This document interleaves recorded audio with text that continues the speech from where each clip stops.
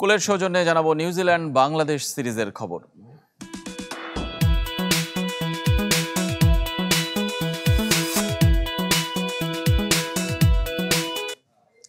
কাল থেকে শুরু টি টোয়েন্টি সিরিজ, শেষ ওয়ানডে জয়ের আত্মবিশ্বাস কাজে লাগাতে চায় বাংলাদেশ। একই সঙ্গে আসন্ন টি টোয়েন্টি বিশ্বকাপের প্রস্তুতিও। নেপিয়ারের ম্যাকলিন পার্কে ম্যাচ শুরু হবে দুপুর বারোটা দশ মিনিটে। নিউজিল্যান্ড থেকে আশ্রিক রুদ্রর রিপোর্ট। জিরো থেকে হিরো ক্যামেরার লেন্স এখন শুধুই সৌম্যর দিকে। অথচ সপ্তাহখানেক আগেও তাকে নিয়ে কত সমালোচনা ছিলেন ভিলেন। তবে চন্ডিকা হাতুর সিং এর আস্থার প্রতিদান দিয়েছেন দারুণভাবে। টি টোয়েন্টি সিরিজের আগে প্রিয় শিষ্যকে নিয়ে কথা বলেছেন বাংলাদেশ কোচ। Um, পুরো দেশ ওর বিপক্ষে ছিল কিন্তু আমরা আস্থা রেখেছিলাম ক্লাস ইজ পার্মানেন্ট ও সেটা দেখিয়েছে। আমি সত্যি খুব খুশি। শেষ ওয়ানডের মতো একই ধরনের উইকেটে হবে প্রথম টি টোয়েন্টি নেপিয়ারে তাই আত্মবিশ্বাসী টৈটুম্বুর টিম বাংলাদেশ। একাদশ কিংবা স্ট্র্যাটেজি নিয়ে অবশ্য মুখ খুলতে নারাজ টাইগারদের মাস্টার মাইন্ড. Um, অবশ্যই মানসিকভাবে আমরা এগিয়ে। ফর্মেট যাই হোক দারুণ একটা জয় সব সময় প্রেরণা দেয়। ছেলেরাও সেটা জানে। আর সেখান থেকে বাড়তি আত্মবিশ্বাস নিয়ে আমরা সিরিজ শুরু করব। um, that will give us a confidence leading into the T20s. আরেকটি ইতিহাস গড়ে ফরম্যাটের চক্র পূরণ করতে চায় বাংলাদেশ। তবে হাতুরুর দৃষ্টি আরও দূরে। টি টোয়েন্টি বিশ্বকাপ নিয়ে এখনই পরিকল্পনার ছক কষতে চান tiger head coach. I said 11 matches fr- uh, from now to the আমরা এখানে কখনোই টি টোয়েন্টি জিততে পারিনি। এটা একটা বড় চ্যালেঞ্জ তবে আমাদের চোখ বিশ্বকাপে সঠিক কম্বিনেশন খুঁজে বের করা আর প্রস্তুতির জন্য আমরা দশ এগারোটা ম্যাচ পাবো। এগুলো কাজে লাগাতে হবে। নেপিয়ারে পৌঁছে সরাসরি ম্যাকলিন পার্কের পাশের মাঠে নিউজিল্যান্ড দল। বড়দিনের ছুটি শেষে অনুশীলনে ফিরেছে স্বাগতিকরা। বিকেলে ঘণ্টা খানেক নেটে নিজেদের ঝালাই করে নিয়েছে ব্ল্যাক ক্যাপস। আবারও জাতীয় দলের ক্যাম্পে ফিরে ভালো লাগছে। টি টোয়েন্টি সিরিজটা দারুণ রোমাঞ্চকর হবে। একশো বিশ বলের বিনোদন অবশ্যই ভালো কিছুর জন্য মুখিয়ে আছি। নেপিয়ারের বিখ্যাত দ্য প্ল্যাটফর্মে নাজমুর শান্তর সাথে ফটোশুটে অংশ নেন Mitchell Santner. Ashik Rudra channel twenty four Napier New Zealand T twenty বিশ্বকাপ পর্যন্ত বাড়তে পারে প্রধান নির্বাচক মিনহাজুল আবেদিনের মেয়াদ। আগের অভিজ্ঞতা থেকে এমন বিশ্বাস তৈরি হয়েছে তার মধ্যে। তবে নির্বাচক পদে না থাকলে কোচিংয়ে ফেরার ইঙ্গিত দিয়েছেন মিনহাজুল। আপাতত জাতীয় দল ঘিরেই তার পরিকল্পনা। জানালেন টি টোয়েন্টি বিশ্বকাপেও খেলতে পারবেন না ইঞ্জুরি আক্রান্ত পেসার এবাদত হোসেন। নির্বাচকের পদ অনেক দেশেই মিউজিক্যাল চেয়ারের মতো, কিন্তু বাংলাদেশে ব্যতিক্রম। এক যুগ কাটিয়ে দিলেন মিনহাজুল আবিদিন নান্নু, প্রধান নির্বাচকের ভূমিকায় আট বছর। অথচ শত প্রশ্ন সমালোচনা তাকে ঘিরে। তবুও বারবার সাবেক অধিনায়কের উপর আস্থা রেখেছে ক্রিকেট বোর্ড। এমনও হয়েছে, মেয়াদ শেষ হওয়ার পরও দীর্ঘদিন দায়িত্ব পালন করে গেছেন। বিকল্প চিন্তা করেনি বিসিবি। তবে এবার হাওয়া বদলের আলোচনা উঠেছে জোরে সোরে। যদিও মিনহাজুল আবিদিনের কথায় দায়িত্বে থাকার ইঙ্গিত। তো কোনো সময় কিন্তু বলে না যে চুক্তি শেষ আমরা কাজ করে যাচ্ছি। যদি বোর্ড যদি মনে করে এটা এটা বোর্ড কিন্তু বোর্ড মিটিং ছাড়া কিন্তু সিদ্ধান্ত নিতে পারেন তো সুতরাং এটা তখনই সিদ্ধান্ত তো জানাবে। প্রতি বছরই কিন্তু এমনও গিয়েছে, চুক্তি নাই, এক বছর কাজ করার পর চুক্তি সই করেছে। আমাদের কাছে যেটা ইনফরমেশন আছে, আমাদেরকে কাজ করতে বলেছে একত্রিশে ডিসেম্বর পর্যন্ত আমরা কাজ করে যাচ্ছি। শোনা যাচ্ছে টি টোয়েন্টি বিশ্বকাপ পর্যন্ত নির্বাচক প্যানেলে পরিবর্তন নাও আসতে পারে। নির্বাচক না থাকলে ম্যাচ রেফারি হতে পারেন মিনহাজুল, এমন আলোচনায় অবশ্য তিনি বিরক্ত। অন্য কেউ নন, নিজেই নিতে চান সিদ্ধান্ত। কোচিংয়ে ফেরার ইচ্ছে সাবেক অধিনায়কের। এটা- আমার পার্সোনাল সিদ্ধান্ত। এটা তো আমাকে কেউ জোর করে কিছু বানাতে আমি নির্বাচক থাকব, আমি নির্বাচকের আগে আমি কোয়ালিফাইড লেভেল থ্রি কোচ তো আমার তো ওদিক চিন্তা ভাবনা আছে। মাননীয় বোর্ড সভাপতি যখন আমাকে বলবে যে আমরা কন্টিনিউ করছি না, তখন তখন আমার সিদ্ধান্তটা আমি নেব। কী করব? আমাদের কিছু করতে হবে। কারণ ক্রিকেট দিয়ে তো আমি সারা জীবন পার করে দিয়েছি। তো বাকি জীবন যে কদিন বাঁচবো কিছু তো করে যেতে হবে। আর ক্রিকেটের সাথে থাকব। বিসিবির সিদ্ধান্তের আগে নিজের কাজটা ভালোভাবে চালিয়ে যেতে চান প্রধান নির্বাচক। পরিকল্পনায় টি টোয়েন্টি বিশ্বকাপ শোনালেন দুঃসংবাদও। ইবাদতের আমার মনে হচ্ছে নেক্সট নেক্সট সিজনটা দিয়ে শুরু করার পসিবিলিটি আছে। নেক্সট সিজন মিনস আমাদের ডোমেস্টিক সিজন অগস্ট সেপ্টেম্বরের ফার্স্ট ক্লাস ক্রিকেট দিয়ে। এটা একটা আপডেট আমাদের কাছে আছে। মেবি কারণ ওর যে রিহাবের মধ্যে আছে এর আগে সম্ভব। প্রধান নির্বাচকের দাবি বাংলাদেশ দল এখন মাঝামাঝি অবস্থানে আছে। তিন চার বছরের মধ্যে ভালো একটা দলে পরিণত হবে। Ikram Hossain, channel twenty Dhaka. Bangladesh cricket league BCL এর খবর জানাব। ওয়ানডে টুর্নামেন্টে টানা দুই জয়ে শীর্ষে সেন্ট্রাল জোন। প্রথম জয় পেয়েছে ইস্ট জোন। বাষট্টি রানে হারিয়েছে নর্থ জোনকে। আর সেন্ট্রাল চার উইকেটে হারিয়েছে সাউথকে।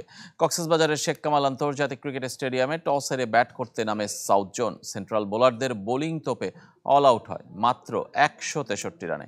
নয় নম্বরে নামা সোহাগ গাজী করেন সর্বোচ্চ সাতান্ন রান। তিনটি করে উইকেট নিয়েছেন নাজমুল ইসলাম অপু এবং শুভাগত হোম। জবাবে আটষট্টি রানে পাঁচ উইকেট হারানো সেন্ট্রালকে বাঁচান মাহিদুল ইসলাম অঙ্কন। অপরাজিত চুহাত্তর রানে দলকে জিতিয়ে মাঠ ছাড়েন। টানা দুই জয়ে ফাইনালের পথে মধ্যাঞ্চল। একই ভেনুর আউটারে টস হেরে নর্থের বিপক্ষে ব্যাট করতে নামে ইস্ট। মাহমুদুল হাসানের সেঞ্চুরিতে চার বল আগে দুশো উনআশি রানে অল আউট হয়। একশো বারো রানে মাহমুদুল হাসানের ব্যাট থেকে আসে। বা এই রান যথেষ্ট ছিল ম্যাচ জিততে। নর্থের পক্ষে কেউই অর্ধ শতাধিক রানও করতে পারেননি। অল আউট দুইশো সতেরো রানে। হ্যাট্রিকের সম্ভাবনা জাগিয়েও দুই উইকেট নিয়েছেন খালেদ আহমেদ। দুই ম্যাচে পাঁচ উইকেট শিকার তার।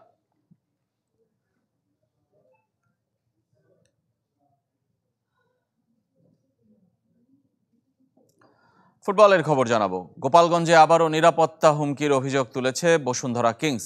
ফেডারেশন কাপ শুরুর দিন ম্যাচ শেষে মাঠে ঢুকে পড়েছে দর্শক। আর তা নিয়েই যত আপত্তি তাদের।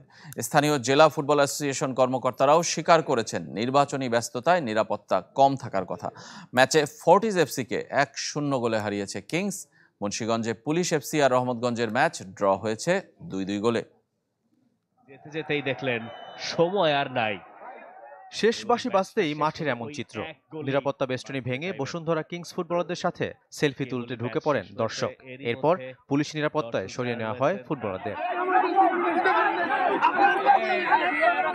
এমন ঘটনায় ভেনুর নিরাপত্তা নিয়ে প্রশ্ন তুলেছে বসুন্ধরা কিংস। বাঘ বিতণ্ডায় জড়ায় জেলা ফুটবল অ্যাসোসিয়েশন কর্মকর্তাদের সাথে।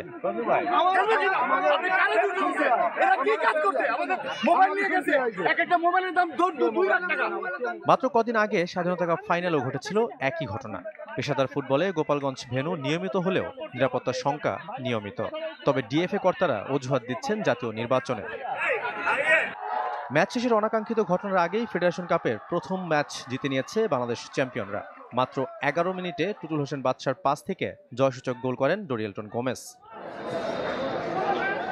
এই ম্যাচ দিয়ে তিন মাসে নিষেধাজ্ঞা কাটিয়ে কিংসের গোলবার সামলেছেন আনিসুর রহমান জিকো।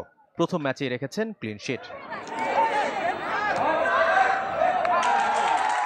এদিকে মুন্সীগঞ্জে পুলিশ এফসির বিপক্ষে দুইবার পিছিয়ে পড়েও ড্র নিয়ে মাঠ ছাড়ে Rahmatganj.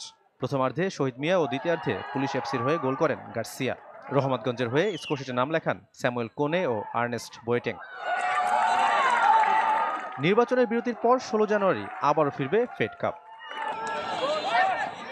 Shafat Midul channel twenty four ধনী, গরিব, তরুণ, বৃদ্ধ, সবার জন্যই দুয়ার খোলা মাশরাফির। ছেলের বিদেশ যেতে টাকা লাগবে, আছেন সংসদ সদস্য।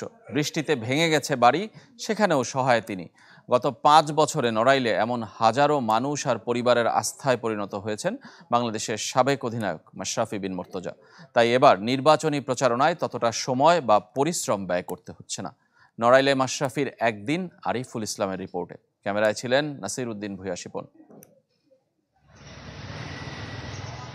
চিত্রাপাড়ের শহরে নির্বাচনী আমেজের প্রতীকী ছবি হতে পারে এটি। ছোট্ট পুকুরের পাশে নৌকার প্রার্থী মাশরাফি বিন মোর্তুজার ডুপ্লেক্স বাড়ি। অবশ্য আলিশানে বাড়িতে খুব একটা থাকেন না নরেল এক্সপ্রেস। বিলাসিতার বিপরীত স্রোতে চলা ম্যাচের রাত্রি যাপন নাহিদ মামার চার দেয়ালে যেখানে ঘুম ভাঙার আগে থেকে প্রতিদিনের মতো অপেক্ষায় সংকটে সমস্যায় জর্জরিত মানুষ। আমার ঘর ভাঙ্গিয়ে গেছে বুঝেন নষ্ট হয়ে গেছে। মেলা দিন দিয়া না ভাঙ্গিয়ে সুরিয়ে এই যে বৃষ্টি দিয়েছে কয়েকদিন ও পরের ঘরে যে ঠাইছি এখন সেইভাবে স্যারের কাছে আসছি স্যার কিছু সহায়তায় করলে আমার সাহায্য করলে আমি সন্তুষ্ট। ভোটারদের কাছে তিনি অন্যরকম চরিত্র। নেতা মাশরাফি হর হামেশা খোঁজ রাখেন নিজ আসনের মানুষের। সে দশ জনের মন কিন্তু একবারে রাখতে পারে না। আজকে আমার দেশটা কালকে আর একজন দেব সিরিয়াল আমি পাবোই। আমার যদি তার প্রতি ভালোবাসা থাকে তো আমি অবশ্যই তার কাছে আমার স্থান থাকবে। আমাদের কাছ থেকে আমাদের ঢোল তোল যে হারমোনি এসব নিয়ে সে নিজেই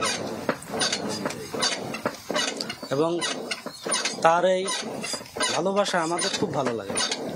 সাকিবের সাথে মাশরাফির নির্বাচনী প্রচারণায় বেশ পার্থক্য। মোটর বাইকে যাওয়া রুটিন অনুযায়ী দিনের নির্দিষ্ট সময়ে ভোটারদের কাছে উপস্থিত থাকেন। তবে মাগুরা এক আসনের মতো নড়াইল দুই আসনেও যেন ওপেন ফিল্ড সড়ক নির্মাণ নদী তীর রক্ষা চিকিৎসা শিক্ষা কৃষি উন্নয়নে সুনাম মাশরাফির। যদিও বেকারত্ব দূর করার দাবি সাধারণের। নড়াইলের অর্থনৈতিক জোন। এই জিনিসটা আমাদের খুব প্রয়োজন মানে বেকারত্ব দূর করার জন্য। এটা আমাদের কাছে অকল আবেদন। ইনশাল্লাহ ভবিষ্যতে এর থেকে আরও অনেক ভালোই করবে এটা আমরা আশা করি আশা করি বাস্তব ইনশাল্লাহ হবে। অসমাপ্ত এসব কাজ শেষ করতেই দ্বিতীয় মেয়াদে নির্বাচিত হতে চাওয়া সাবেক অধিনায়কের আমার যা করণীয় যা কাজ আছে আমি সুযোগ পেলে অবশ্যই সেই কাজগুলো আবার শেষ করব। পরিবর্তনের সেতু দিয়ে নড়াইল এক্সপ্রেসের পাঁচ বছর ধরে ছুটে চলা। ক্রিকেটার মাশরাফি রাজনীতির মাঠে তুমুল জনপ্রিয়। যদি ভরসা রাখে জনমানুষ, উন্নয়নের আহ্বানে এগিয়ে যাওয়ার আশ্বাস মাশরাফির। Ariful Islam channel twenty four Narail. শাস্তি পেতে যাচ্ছেন তিন আফগান ক্রিকেটার মুজিবুর রহমান, নাভিনুল হক এবং ফজল হক ফারুকি। এই তিন ক্রিকেটারকে আগামী দুই বছর ফ্র্যাঞ্চাইজি ক্রিকেট খেলতে ছাড়পত্র দেবেন আফগানিস্তান ক্রিকেট বোর্ড। দেশে বিদেশে ফ্র্যাঞ্চাইজি ক্রিকেট খেলার উদ্দেশ্যে দুই সালের চক্রে কেন্দ্রীয় চুক্তির বাইরে থাকার জন্য এসিবিকে আনুষ্ঠানিকভাবে চিঠি দিয়েছিলেন তারা। ব্যাপারটাকে ভালোভাবে নেয়নি বোর্ড। দেশকে অগ্রাধিকার না দিয়ে স্বার্থপরের মতো চিন্তা করায় এমন শাস্তি বলে জানিয়েছে এসিবি। শুধু তাই নয়, কেন্দ্রীয় চুক্তিতেও আপাতত রাখা হচ্ছে না এই তিন ক্রিকেটারকে এই ছিল কুল স্পোর্টস টোয়েন্টি ফোরের এখনকার আয়োজন। ধন্যবাদ সবাইকে সঙ্গে থাকার জন্য।